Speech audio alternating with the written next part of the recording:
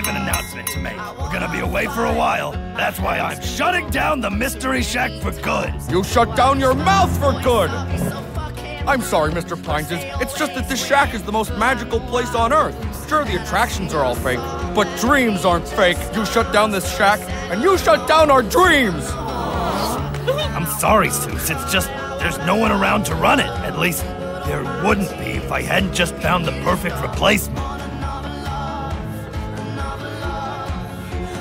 Ladies and gentlemen, the Mystery Shack is under new management. You, you mean it, Mr. Mystery? You're Mr. Mystery now, Soos. Try not to burn the place down.